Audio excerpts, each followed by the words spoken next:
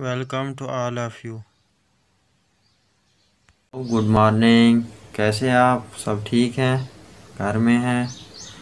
चलो घर में रहे सेफ़ रहे और ऑनलाइन पढ़ते रहे। ठीक, आज, हमारा जो नया टॉपिक है वो एग्रीकल्चर का है। वैसे तो एग्रीकल्चर एक बहुत वास्ट टॉपिक है, अगर हम इंडिया की बात करेंगे तो हमारे हिंदुस्तान तो एग्रीकल्चर कंट्री है। Our country is agriculture country so two third population of our India is uh, associated with agriculture okay तो एग्रीकल्चर की हम बात करेंगे ये एक रॉ मटेरियल भी बहुत सारी इंडस्ट्रीज़ के लिए हमें मिलता है उससे एग्रीकल्चर से और फ़ूड भी प्रोवाइड करता है ठीक अबाउट हम अगर बात करेंगे इसकी तो जो ट्वेंटी सिक्स परसेंट ऑफ़ जो जी है वो इससे होती है, ठीक है? तो हम वर्ड अगर एग्रीकल्चर की बात करेंगे तो it is drive from Latin to word to Latin words में एग्रेरा means land and culture means cultivation simple meaning the cultivation of land is known as agriculture okay simple सी बात है। सो हम जब बात करेंगे कि एरिया कितना है हमारे एग्रीकल्चर के अंदर? 143 मिलियन हेक्टेयर्स जो एग्रीकल्चर के लिए यूज़ हो।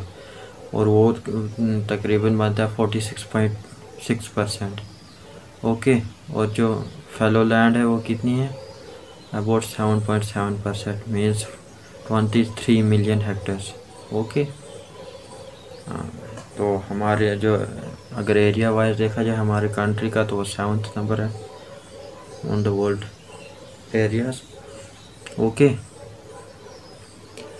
अगर हम एग्रीकल्चर की बात करेंगे तो ये हमारे लिए बहुत सारा रॉ मटेरियल भी अवेलेबल होता है इसे, जो हमारे इंडस्ट्रीज़ में यूज़ होता है। ओके बहुत सारा यूज़ होता है। अगर हम टाइप्स ऑफ़ फ़ार्मिंग की बात करेंगे तो based on climate availability of irrigation facilities तो हमारा जो एग्रीकल्चर है फ़ार्मिंग टाइप में, वो तीन टाइप्स का है। फ़र्स्ट आता है सब्सिस्टेंस क्रॉपिंग ठीक है फ़ार्मिंग जिसको कहा जाता है। और दूसरा जो आता है इंटेंसिव फ़ार्मिंग और third one is extensive farming extensive farming तो वैसे यूएसए कनाडा रशिया में होता है। मतलब ये एक मॉडर्नाइज न्यू टेक्निक्स है एग्रीकल्चर की ओके तो हमारा सबसे पहले हिंदुस्तान की बात करेंगे तो यहाँ ज़्यादातर सब्सटेंस फ़ार्मिंग होती है, जो लोग मतलब अनाज को उगाते हैं अपने लिए या लोकल मार्केट में जो भेजा जाता है ओके तो large population of our India is done agriculture of substance cropping ठीक है? क्योंकि सब्सटेंस फ़ार्मिंग इसलिए होती है पुअर हमारी जो कंट्री है, वो लोग बहुत ज़्यादा गरीब भी हैं, जिसकी वजह से जो फैसिलिटीज़ जो न्यू टेक्निक्स फर्टिलाइज़र बहुत कम यूज़ होती है। और हमारी जो इंटेंसिव फ़ार्मिंग है सेकंड टाइप जो इसकी है। वो मतलब स्टेट जो है, राजस्थान, पंजाब मध्य प्रदेश, इन स्टेटों में क्या होते हैं और यूपी में। इंटेंसिव मीन्स स्मॉल एरिया होता है और लेकिन लार्ज प्रोडक्शन और एक्सटेंसिव ये जो एक्सटेंसिव होता है, उसमें क्या होता है कि बहुत सारा एरिया होता है, लेकिन थोड़ी सी फ़ार्मिंग होती है। अगर हम हिंदुस्तान की बारे में पॉपुलेशन बहुत ज़्यादा है, क्योंकि पॉपुलेशन डेंसिटी बहुत ज़्यादा है, और जहाँ डेंस पॉपुलेशन होती है, वहाँ क्या होती है?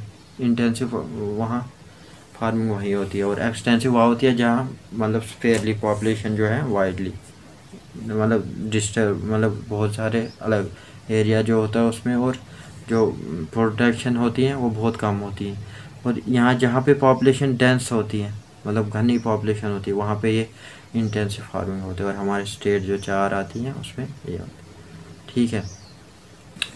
और जो हम अगर इसकी फिर शिफ्टिंग कल कल्टिवेशन होता है है ना? प्लांटेशन एग्रीकल्चर होते हैं अलग अलग डिफरेंट टाइप्स के, उसके अंडर आती है वो।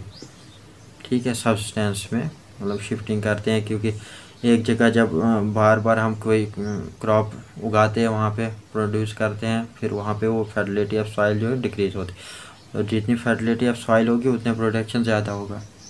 ठीक।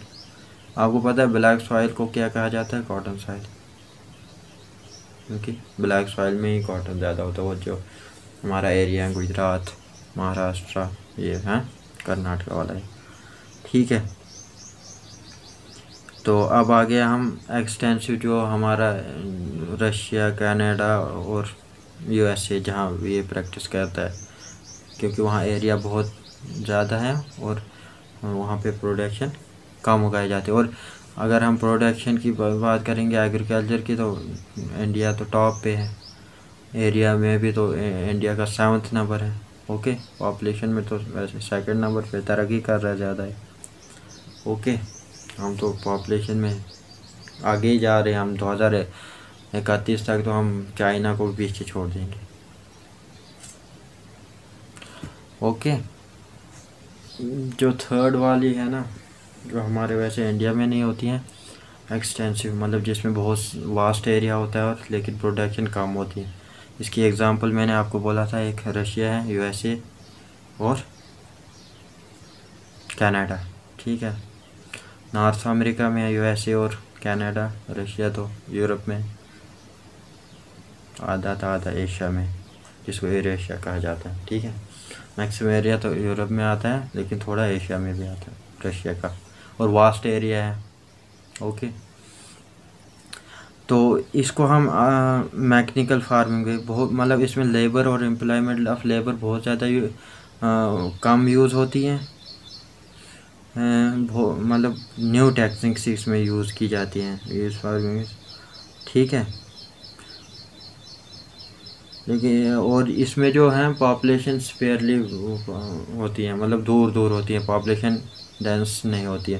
डेंस पॉपुलेशन किसमें होती है? इंटेंसिव जिसमें जो एरिया कम होता है, लेकिन प्रोटेक्शन ज़्यादा होती है। ठीक है, ये थी टाइप्स ऑफ़ फ़ार्मिंग थे। हमने थोड़े ब्रीफली डिस्कशन किया है। इसका जो अगला फैक्टर्स भी एक्सप्लेन करूँगा मैं नेक्स्ट वीडियो में। तो इस वीडियो के लिए इतना ही। आप मेरे वीडियोस को लाइक शेयर और मेरे चैनल को सब्सक्राइब कीजिए।